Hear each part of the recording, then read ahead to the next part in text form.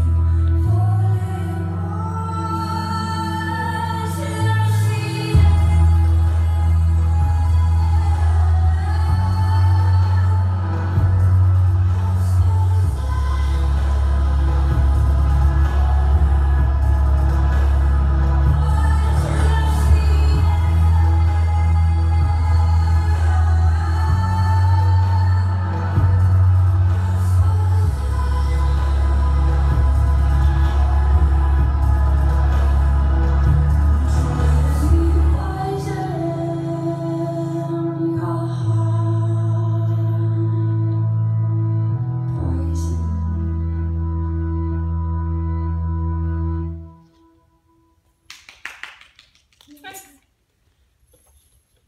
story. You thought it was short? My, no, my ass was even short. Super sexy.